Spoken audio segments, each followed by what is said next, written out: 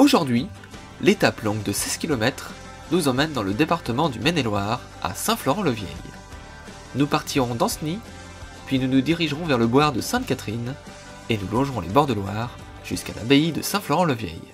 Sur cette partie, le GR3 ne présente pratiquement aucun dénivelé.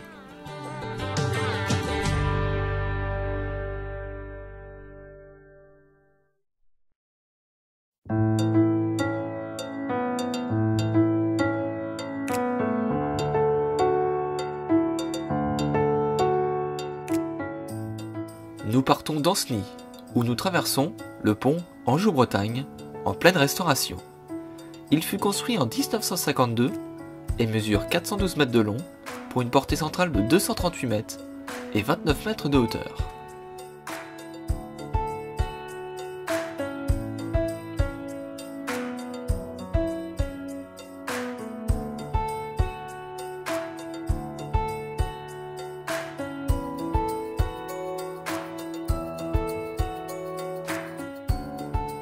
Route et large chemin nous accueillent en ce début de matinée jusqu'au boire de Sainte-Catherine.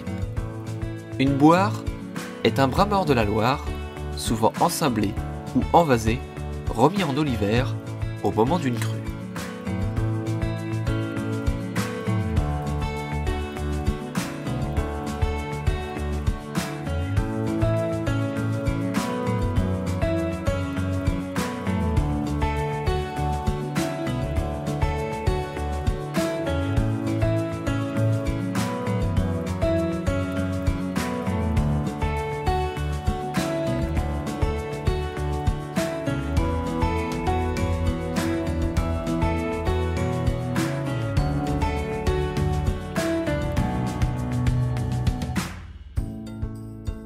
Après nous être restaurés sur les bords du fleuve, nous continuons notre chemin au plus près de la Loire, où îlots, grèves et bords de sable se succèdent jusqu'à Saint-Florent-le-Vieil.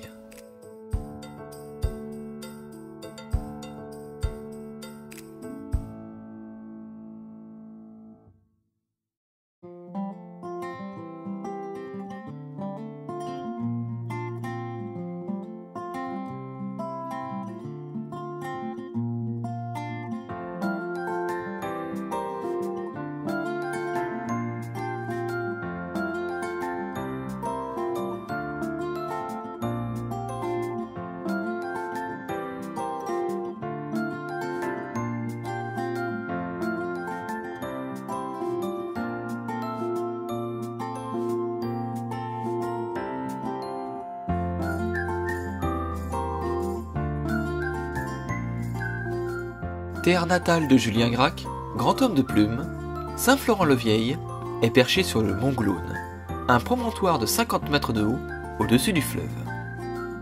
Le monastère bénédictin de Saint-Florent a été implanté dès le VIe siècle.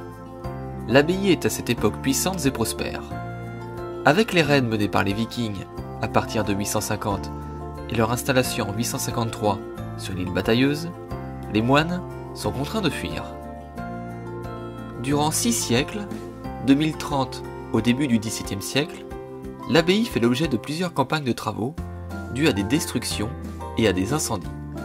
C'est dans un état médiocre que les moines mauristes la découvrent à leur arrivée en 1637. Une nouvelle abbaye est reconstruite au XVIIe siècle.